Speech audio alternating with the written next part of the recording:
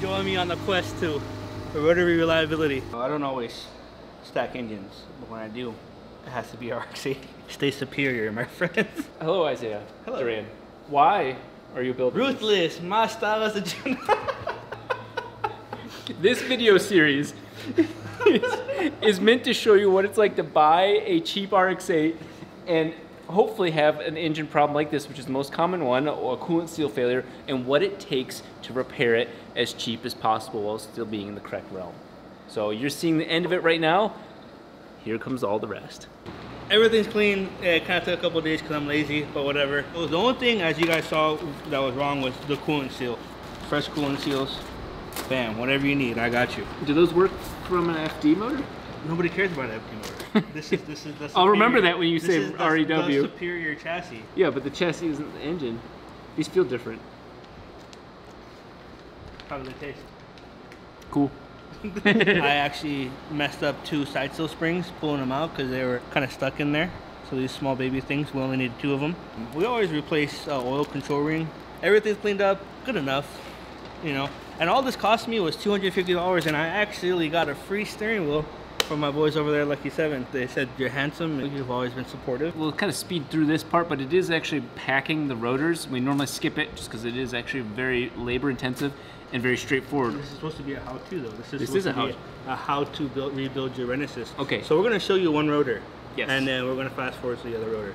One thing that I didn't do that you guys should do is mark the top of whatever rotor and mark where each seal goes because I was too excited and I didn't do that. And these RX-8 springs are kind of hard to clearance, but we're professionals and we don't care, so we'll get through it pretty easy. If you are rebuilding the engine, like Isaiah said, keep track of this seal is on this side. There's six of each thing on each side of the rotor. So each rotor has six side seals. Each rotor has six side seal springs, which the springs don't really matter, but the side seals and the corner seals are the parts that you want to keep in the same triangle shape because they actually work with each other with that side of that face and a couple thousandths is the noticeable difference when checking for tolerance. When you're rebuilding a motor and you don't want to mess with any of that, just keep it in order. We're just gonna go for the kind of loosey-goosey clearance of uh, 0.006 around there. See that little notch right there on the side of this corner seal? That notch is what makes an engine worn or loose over time, and that is the tip of this side seal rubbing and making sweet, sweet love to the side of the corner seal. That eventually means that it can move back and forth on each side, and there's where your looser tolerances come from. So if you were to use the stock parts back and forth, it's of course gonna have wider tolerances and, and have a little bit more blow by or whatever else comes with it, but that's about it. That's really all there is to it. When you put your side seal springs on, you want your end parts to go up, right? Yeah. Yeah, not down. There's a little squiggly line, uh, like on the corner of your eye. You want the top part to be up, so not down like this, because it won't spring right. It's more so the idea is that if the squiggle goes down underneath here, there's a chance that if the corner seal is doing its bouncy up and down, that this little squiggle can get under there and then get crushed, and then that'll flatten the side seal spring over time, and then you get less side seal spring spring. A viewer that had recommended that a long time ago, and stuff like that that makes this channel so successful, to be honest, is you guys watching out for us for those small, minor details. If I pick it up from the backside and hold it like this, you can see that all of these have that notch on the left side, and then all of these have the notch on the right side, harder notch. Oh shit. And that's the three- rotation of the rotor. yeah, three of them are on one side, three of them are on the other side of the, the rotor, which doesn't really matter. Halfway there now. Yeah, That does matter, because if we put it on the other side, it'll be even harder to... figure out the clearance in. Yeah. At this point, you definitely have to commit to which rotor is the front and the rear. Whether it's front or rear makes a huge difference on the position of your oil control ring springs. So in this case, this is the rear rotor. So the rotor is spinning with this gear towards the very back of the motor. So that means that the intake's up here. That means that then it compresses and then it shoots the exhaust out this way. So the rotor is spinning like this, which means all of the control rings need to have their little latches hook in this way to prevent them from spinning with the irons and not the rotor. There's no way you can fuck up the front or rear, because the gear and the scalloping. Yeah, you're right. I think we have it backwards. Do we really have the I backwards? Yeah. didn't think too much into it, but I think we do. This is the front. And this is the rear. Yeah, that is Yeah. the rear. Oh yes, okay, cool. Yeah, we got lucky on these. They're scalloped. They are rotational, not just with the gear, but also with these shavings here. It's a new thing for me. His, the gear goes from the front of the motor, and mine, the gear's in the back of the motor. That's why it matters so much. They don't both sit like this. Keeping that in mind, when we do all the oil control rings, They have to go with the rotation, right?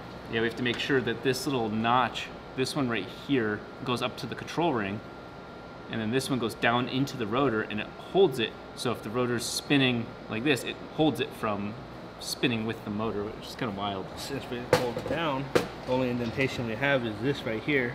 So that way, if I push this back, the whole seal doesn't move. You see?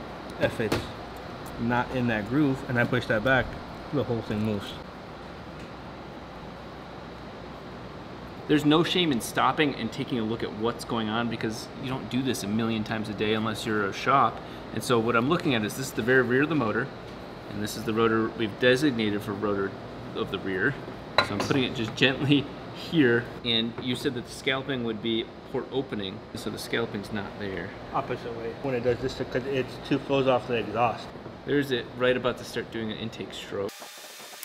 And there's it closing off, so that'd be the last second. We're gonna grab the original oil control rings, but something that threw me off big time is there's a third level of oil control ring, and it's got this wild little notch setup to it. The inner ones are my favorite. The no, outer oil control ring is kind of weird because there's no O-ring to it. It's just, Yeah. it's like a spring and it's just it's kind of just set in there. So you just slap her in there like that and you kind of just close her in. That's it. The oil control ring that cracks me up is this, the middle one, but it'd be the outer one on an FD because you're actually playing this game of hide inside the wheel. These are bitch, and this is how it is oh OEM. There we go. I had to use my tongue. if it feels like your oil control ring doesn't really want to fit in there, that is exactly how it feels. It always feels like on the edge of just falling off, and occasionally they do. While I was doing the four rotor, you take a rotor, pick it up like this, and one just falls off. Make sure the notchy side, make sure that side goes bottom down. That's what those springs connect onto. Smooth side up. Man, that feels good with new seals. You do get kind of a rolling feeling once you like do get it to stay onto the side of the rotor. Yeah, because there's like rolls in there. Yeah. So there they are. They're sitting there. But the new one to me is this chunky monkey. And that kind of makes sense. The notch goes over. There's straight up a little pin looking thing inside here. And the notch goes over. Wow, it does bend. Wow, it really bends quite. It's like a snap ring feel to it. Yeah. A lot of these are compression rings, like a piston ring. This one actually takes that step and goes a little bit further. That side was easy. Both my oil sides are controlled. It is now time to test corner seals and side seals. Pinkies up, remember that? Pinkies up when you're putting the springs in.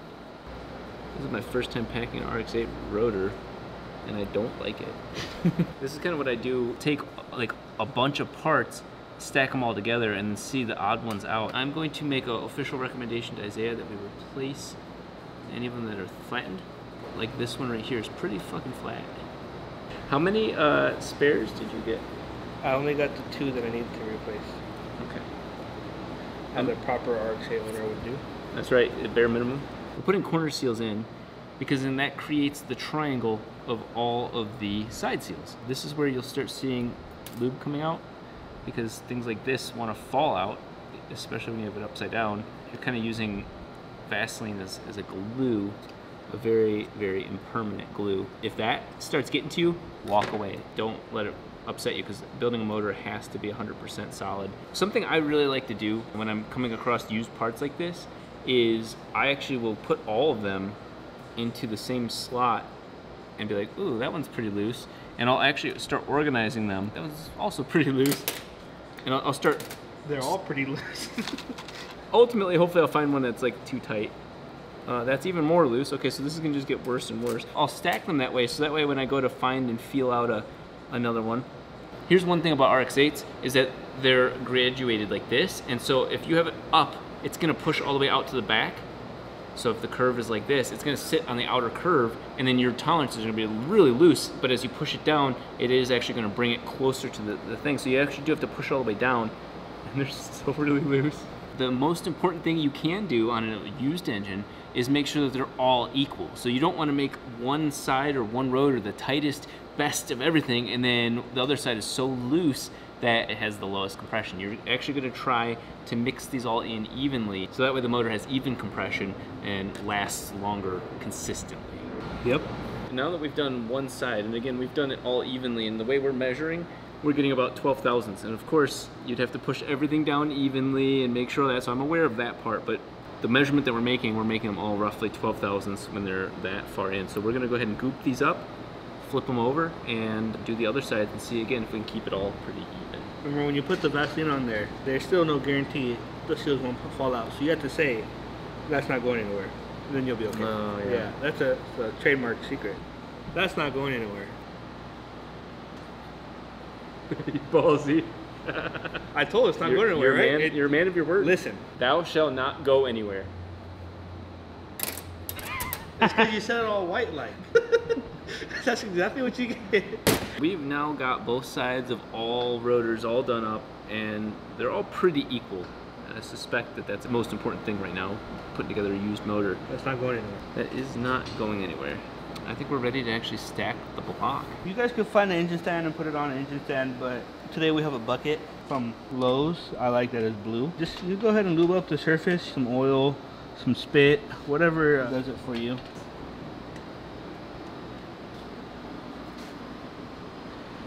Swap it right in there. At step one, put the rotor down. Step two, kind of just drop right in there. Maybe just a little blop down where it all used to be. You don't need a lot. Check the vibe. Put a little blob of whatever silicone you have, just like right there. All this is doing just to hold the seal in place. It's not to actually seal. Just finger it into place. 12 is no different. 12 is just smaller housings and smaller rotors, smaller E-shaft. As long as they don't go anywhere, as they shouldn't, we should be fine. So far, it looks looking good on my side. This side's a lot easier because it's not going upside down.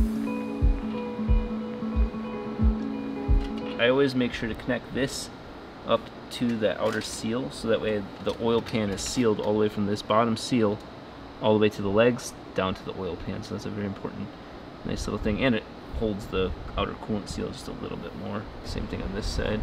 So here we are with the apex seal. The tips, little nibs as I call them, are glued to the end of each of these. And those will end up going on the top so we can control and watch them. Then there's two sets of apex seal springs. There's the large one and the small one. The small one actually controls just the, the, the large chunk of apex seal between those two notches right there. And this large one actually does produce a lot of the apex seal spring force, but it actually separates these two from each other. There's a, that angled piece right there that it slides on. And so it's also trying to create a compression, you know, sort of seal outwardly too. When that super glue breaks off, and it breaks off very easily under combustion, your apex seal sliding outward and on this edge to try and seal every which way possible. So it's kind of neat why there's two sets of springs. Push that down a little bit. And so, just like that. All at the same time, we'll push them down because they're already creating a force pushing the rotor, which could cause the lower corner seal to uh, have issues. You want to make sure that you have all three kind of equally pushing the rotor equally. How You many don't. times you want to say equal? I want to make it equal. you want to make the equal times you say it equal equal? Yeah.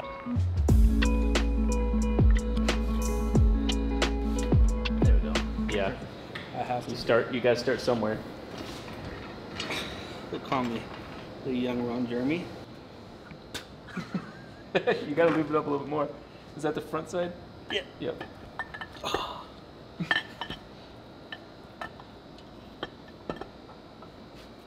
Did you leave the uh, that? No, no, it's okay. So now you have to pop it back up. You have to pick it like that. Do another visual check of all the seals. I didn't mess them up. There you go. That was nice. Nice and solid. Okay, now we don't want to over compress the motor because then seals can pick back up when everything uncompresses and then they'll pop out. So we want to leave it right there.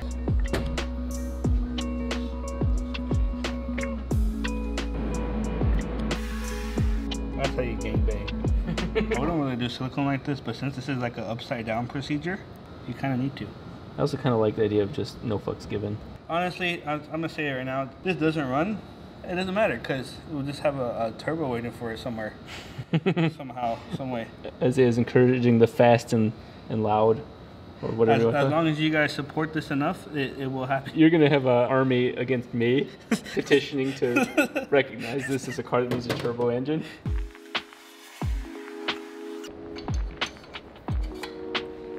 Doing all the doweling, I've gotten like obsessed about which side's which.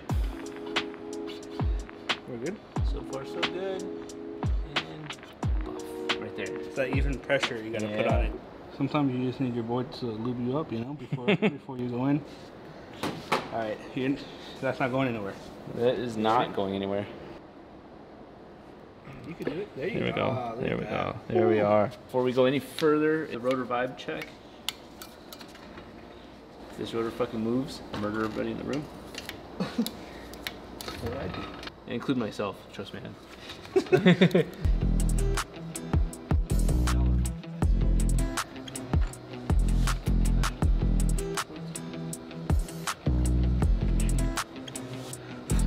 You gotta do the Illuminati triangle.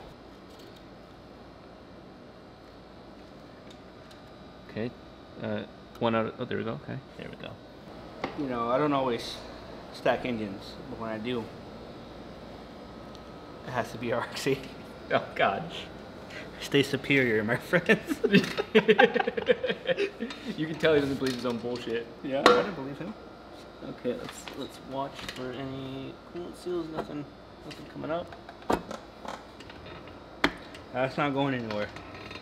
Literally, it's Well, gonna stay right here. Yeah, for was gonna say, it, weeks. bet- it better not be frozen. So all in all, I've only spent two hundred and fifty dollars on coolant seals and O-rings, and uh, the two seal springs that I've messed up taking out. And minus the time and the effort and the tears and the sweat, that's all that it took was two hundred and fifty dollars out of my pocket. Let's make sure it runs.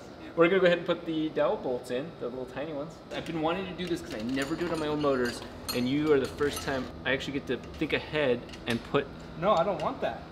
No, Yeah, you do. no, I don't want that. You're getting it anyway. Every single one of mine, I forget to do this, and then I try and do it after the bolt's halfway in. It is the worst, dumb mistake I keep making. Stark is gonna run great and not leak coolant because I can do this. Are you gonna start slapping those in there while I clean them? I'm just gonna watch it. Okay, that works too. This is your Look moment. at that, that color. That's neochrome, baby. Neochrome. Look at that. RX-7s don't come with neochrome bolts like that. I'll tell you that. Coolant leak written all over it. I don't know what. I don't know what that is. This is just cool factor JDM.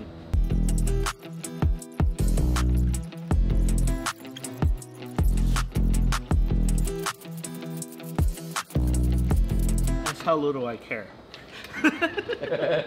You do want a torque wrench, and anywhere between 20 and 30, honestly. I, I go to 33. Isaac can do whatever the fuck he wants to. I'm gonna go to uh, 36.8 because that's the setting on here. For reference, when you're building like a race motor, I like to do a round of lower and then another round of higher and then the finals. I just did that. That was a little one. Fair enough. That, that was set in one. Fair enough.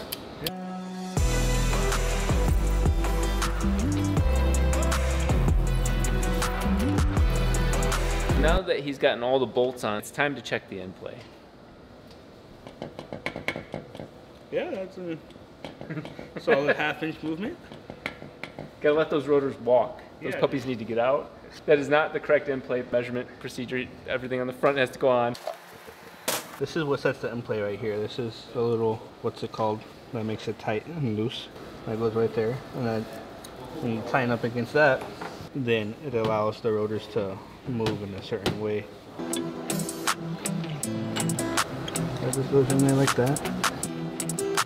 So the oil pump is there now. If you guys aren't a part of the Patreon, I feel bad for you because we've been talking to them this whole time. I just wanted you to say hi to everybody, okay? I'm getting a lot of questions. What are you doing with the RX-8? I hope you turbo it. Hybrid motor this, this, this, that, that, that. This is meant to be as realistic as it can be to a regular person because not a lot of people could afford a four-rotor, three-rotor, rotary sub Corvette. I want to bring a realistic aspect to uh, to the people out there and actually bring back the superior chassis. If I was on crack, I mean bang, this would have been done in 72 hours. Why aren't you? because I, I care about my health and I'm saving that for the SEMA push. this is meant to be as realistic as possible. Hopefully you guys could appreciate that. And when this thing actually goes, I will probably have something fun for you guys. But I mean, in the meantime, I'm gonna do something just uh, cheaper, kind of like, um, I don't wanna say it's like most YouTube stuff, but it's gonna be kind of like most YouTube stuff. Yeah. I want to bring you guys something fun. I want to have something that I could just do some stupid stuff to. Like, you know, that's all I want. I just want to do hood rat stuff with my friends. Yeah. More properly torqued than it was coming off.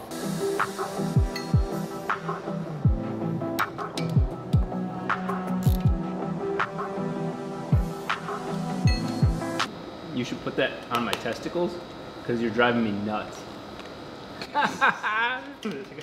it's late. First of all, I wanted to give a huge shout out to my boy Jake. He sent Doritos. Mind you, we're not uh, related to Doritos in any way, but the engine is. And Jake, thank you as always. But this engine is now a short block.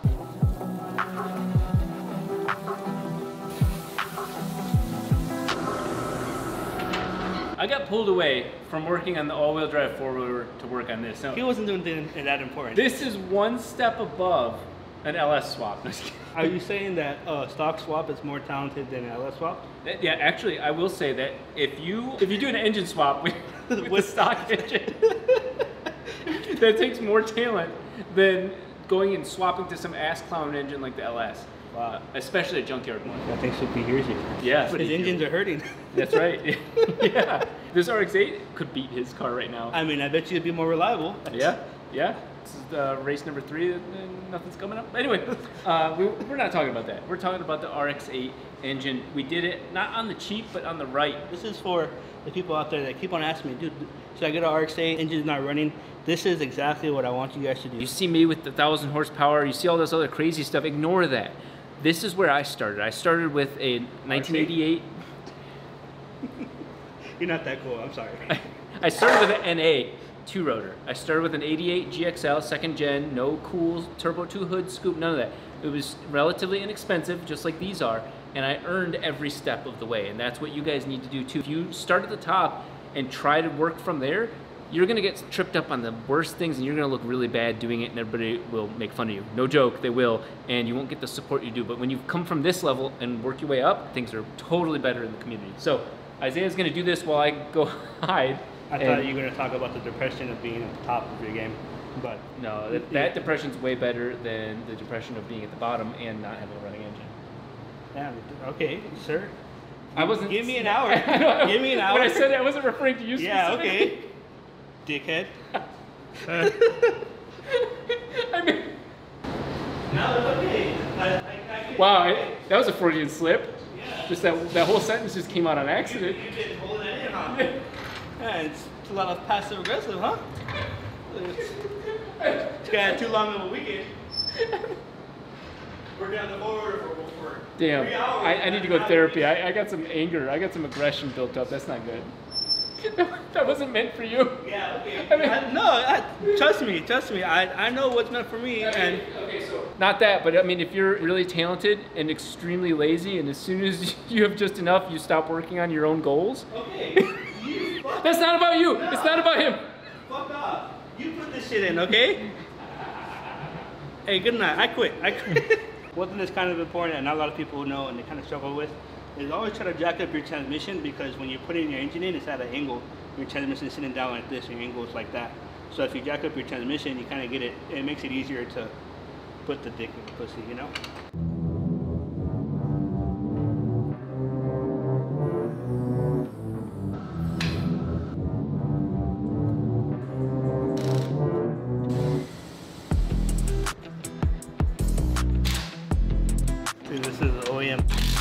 Tray. None of Rob's cars have under tray.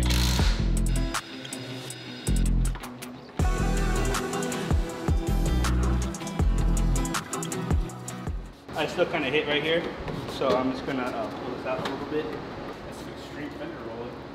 See how strong I am, Rob? this is some leftover stuff I had from my Beamer that I'll just, you know, throw in there. This thing takes uh, seven quarts, so if you drain the oil coolers, which I did, and then I also have a brand new oil filter. I have all that good stuff going in there. Filling up with coolant. Let's just hope everything's okay and it's not filling up to the combustion chamber as we speak. I think that this might still overflow because I, I don't think this is sealing properly. This is all fucked up anyway, so I, need to get a new tank. I hope you guys are ready because I am ready to start the car. Finally, I wasn't as excited earlier, but now I feel it. And uh, I just want you guys to come onto this uh, this road with me to Rotary Reliability. If you want to do the honors and, and put, plug the battery in. Okay. I'm, I'm your electrical guy. Yeah, yeah. yeah I, I heard something. There.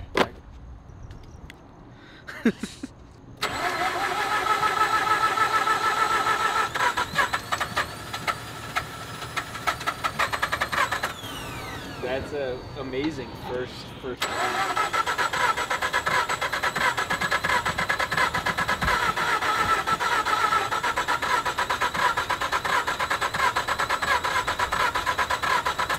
And I'm gonna put my, my braking starts on it.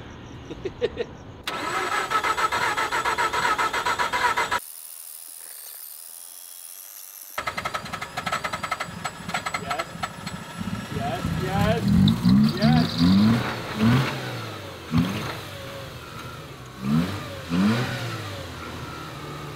A little bit smoky. Yeah. Just a little. Join me on the quest to rotary reliability. This is peak. The smoke, that, that's just effect. That, that is. Fuck it. I don't even weld anymore. I rebuild. Chilling with the boy, you know. I had to give the little the little rotary diddle between 27 23% throttle, and you know she just that starter that that my RX-8 starter is they made that badass because they knew that motherfucker was gonna be working. I just want to make sure that that clears up. It is clearing up, but Yeah, it's all stuck in the catalytic converter, and, and over time with the rebuild, you know, Yeah. it, it, it took so long. it is clearing up. It is clearing up. I just, I just. I, I want to point out that this has been a week and a half, you know, with uh, with weekends off. And we took a whole engine, took it apart, rebuilt it. Some people I know can't even replace the trans in that time. so I was like, who's he going? Oh, oh no. this bad boy's gonna run for another 20,000 miles. You guys hear that? It sounds like the valves are tapping. I stopped leaking too, so that was just some residual water. That's much better.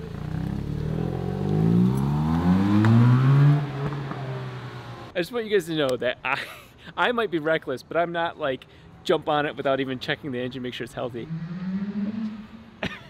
oh my god, this is genuine reaction right now. Well, if it blows, I just want to point out that I did not do the entire engine build. I'm like, I have a disclaimer on this. Coming straight for me. I can't tell exactly which part's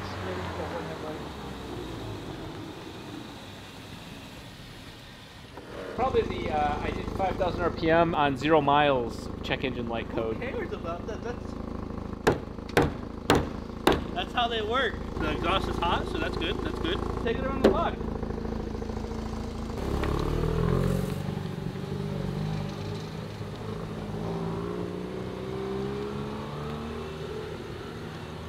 You guys, that that's the start of the RX-8 love. You see, you see the little like if he's an F1 or something like, oh yeah, that, that- that's it. That he's hooked. Done. I did it.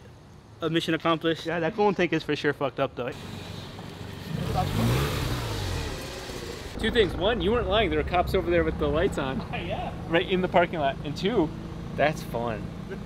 That's fun. I, dude, I'm so happy for you. Man, that is so cool. That I am so happy for the situation. Happy for Isaiah. This is truly an example of you know 200 bucks in coolant seals, and you've got a good running car. Assuming that you can pull the engine and do all that sort of stuff. Hopefully, in these videos, we show you how to do that, or at least feel enabled to do it because it is, and that's where you could get the cheap RX-7 for cheap if you plan this Eight. process. Yeah, sorry.